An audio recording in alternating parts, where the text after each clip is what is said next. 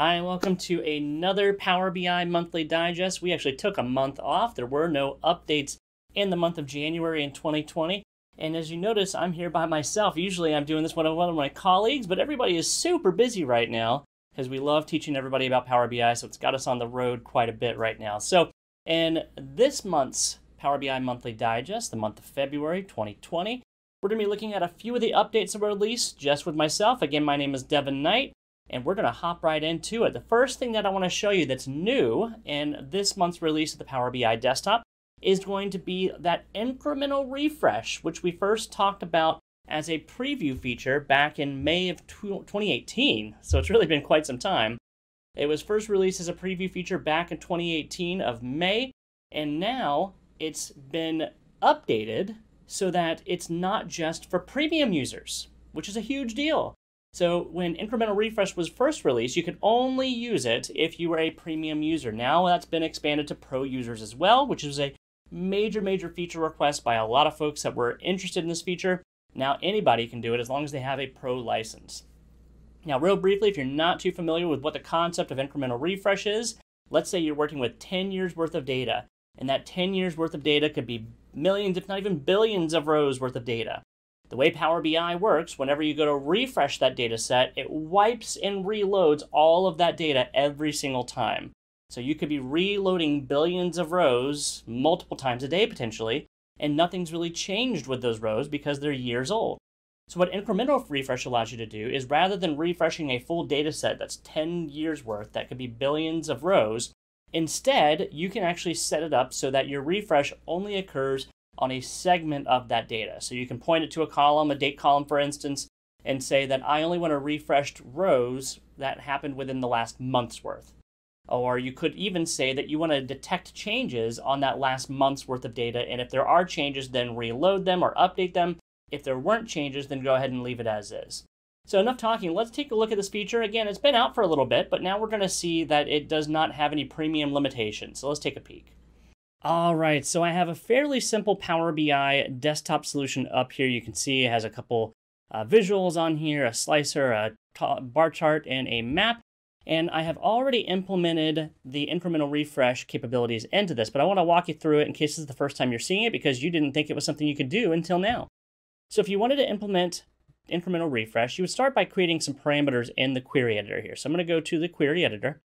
And inside the query editor, you can create parameters here. And traditionally what you're doing is you're going to create kind of a range of dates that you can go from within side of the filter capabilities. So I can go to uh, edit or manage parameters here. You can create some new parameters on your own. And I've created a range start and a range end parameter here that I can then use for my incremental refresh capabilities. And the way that I'm going to leverage these is on the column, the date column that I have inside this data set, this one here called closing date. You'll notice I have a filter on here, and if you look at the filter section on that, you'll see that I have a filter that's leveraging those parameters. So I have a saying everything that's before the range start and everything, uh, sorry, everything that's after the range start and everything that's before the range end is how my parameters are going to be leveraged.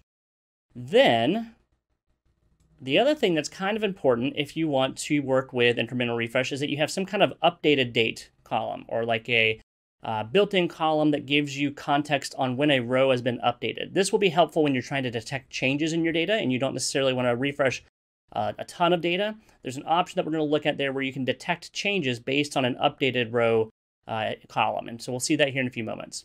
But you create the couple parameters. You then lock that parameter into a filter of your field. So I have a between filter here. One's already been applied, so I'm not going to do it a second time, but you would select from the parameter list here and say range start and say range end. Mine's already done, so I'm going to hit cancel here. And then on the actual table itself, when you're back in the report view here, there is an option when you right click on it to tell it that you want to set up incremental refresh. Now, when you select this, previously you would see a little diamond icon appear next to incremental refresh, indicating that it was a premium only feature, but no more you as a pro user can actually leverage and use incremental refresh. Now, I've kind of purposely made a little bit of a mistake here because I wanted you to see this little warning message that pops up. I am connecting to a CSV file as my data source, but traditionally incremental refreshes will be done against data sources that query folding can be uh, able to leverage, or query folding can be implemented in. If you're not too familiar with query folding, essentially that means that Power BI will take whatever filters and uh, things that you apply in the data transform steps and convert it into the native SQL language or the native language of whatever your data source is. Well, if I'm using a CSV file, that's not possible. So it's a you know kind of defeats the purpose of doing incremental refresh if you're connecting to a CSV file because it can't quite do everything you would anticipate. But um, you can, for demo purposes, still take a peek at it. Normally, you won't see this yellow box up top.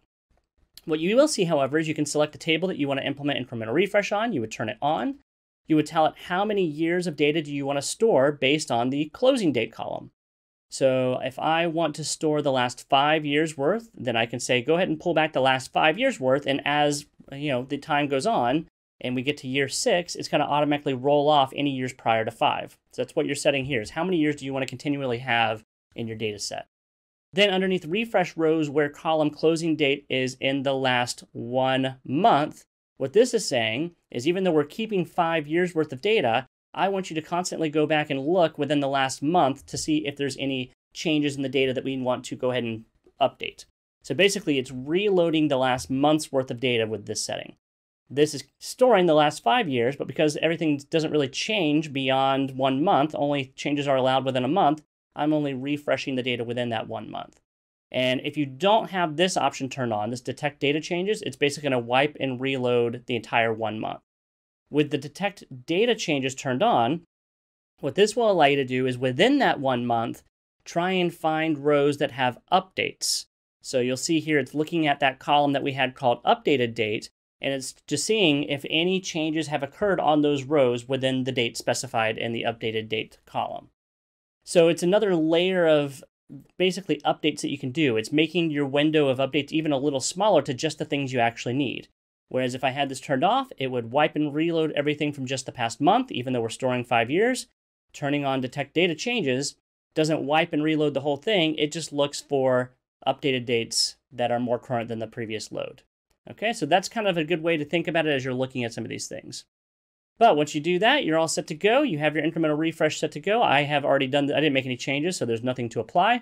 And as you deploy this out, your incremental refresh will have the very first load will be kind of a longer one because it has to load in the entire data set.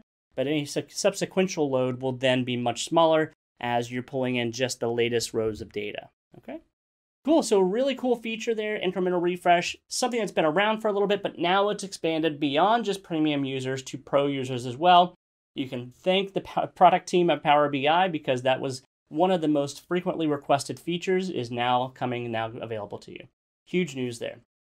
The next thing that we're going to look at is on the data visualization side of things, and specifically around the data visualization for filtering data called a slicer. So many of you have likely worked with slicers before, but there's been a change to the slicer capabilities that you have inside Power BI that you're now allowed to have hierarchical gate data inside of your slicer. Previously, if you wanted to have a hierarchy slicer, there was a custom visual that someone developed that you could go find on the custom visual gallery, and you can bring that in and it would allow you to filter your data through a hierarchy where you could drill into one level and go deeper into that level and filter at multiple levels. That was such a hot custom visual, one of the more popular custom visuals, that the Power BI team has wrapped that capability into the native slicer that you have and you've used for so long. So very simple idea. You can now have hierarchies in your slicer. Let's take a look and get you a picture at what this looks like. I think you're going to like it.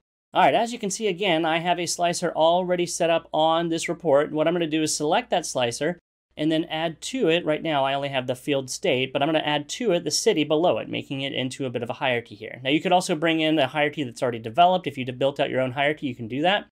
Or if you just drag a uh, subordinate field underneath here, you'll see that capability as well. So now I have the new slicer capabilities allows me to drill into specific states and see the cities within the state that I want to filter. And so I can start to select each one of these if I wanted to here. And based on my selection, it allows me to select multiple values within that state. If I wanted to select the entire state, of course you can do that as well. And it'll select everything in that state. Or if I just wanted to pick individual cities, you can do that as well. So neat capabilities that you have built in with the slicer now. So it makes it much easier to be able to select multiple values, makes it much easier to make your life easier when it comes to filtering data. All right, let's flip back. I got one more thing to talk about that we have a demo around. And this next item is all around key tips. So if you're not really too familiar with key tips, this is an accessibility feature that allows you to easily maneuver around uh, a menu to make it so that you can find things just using uh, hotkeys within your keyboard to be able to navigate. This is a very quick one to show that they've added now to the new ribbon that again is in preview right now, but it's a new feature that I want to give you a quick peek at. Let's go hop back over to our demo and take a look again. All right, so very simple one to show here. If you want to be able to see the key tips, to be able to make it easy for you to use hotkeys to navigate around the environment here, all you have to do is hit Alt Windows and you'll see those key tips pop up there. Those key tips give you the ability to easily navigate around the menu. So if I hit I, for instance, that'll take me over to the insert menu. If I hit E, for example, that will launch open a text box on my screen, just making things easier and also making it so that those that have accessibility needs can more easily interact with the tool. And they've been working a lot on those uh, needs within inside of Power BI to make it just easier to navigate around. But again, all it is is Alt Windows, and when you do that, it pops up to take you back to where you were here. All right, let's head back over and talk about a few other items. All right, next we're going to talk about some new DAX functions that have been added into Power BI this month. We have first non-blank value and last non-blank value. Now, you may be familiar that there's already a couple DAX functions called first non-blank and last non-blank. The big difference with these new DAX functions have to do with the functionality where you can do this against measures now. So it's making where you can actually bring back the first non-null measure value or the last non-null measure value. So that's kind of what these do for you. It makes it easy to bring back those first non-null or non-blank values inside of Power BI. That has to do more with your measures here in this case. Then lastly, that I want to talk about a little bit is the data connectivity features that have been added. There's going to be a few data connectors added into Power BI this month. I'm going to mention a couple of them that are particularly interesting that you might be uh, interested in. One of them is a MicroStrategies connector that's gotten added. This, of course, is MicroStrategies, if you're familiar with this, is a bit of a competitor tool for Microsoft data visualization tools like reporting services. But now you're going to have the ability to actually connect into MicroStrategies and use it as a data source. So that's a great new add. And also, in addition, is TIBCO. So TIBCO is a company that makes Spotfire, a pretty big competitor of Power BI. There's now a data connector built in for TIBCO for you to be able to pull in your data from there as well. So some interesting data connectors that are being added uh, this month. But other than that, that's pretty much it. A couple big ones there. The biggest feature, obviously, is incremental refresh for those pro users. You also saw the hierarchy slicer and then some of the data connectors and DAX functionality that's been released. So hopefully you enjoyed this one. Let us know what was some of the more interesting things that you liked from this month's release. You can comment below and let us know. Next month I'll be back with another colleague here. We'll be able to talk more about the update that we have in March. But for this month, of course, February 2020, we look forward to testing out some of these new features. And of course, if you're looking to go more in depth than what we're able to cover in these short videos, check out our training at pragmaticworks.com. Thank you so much.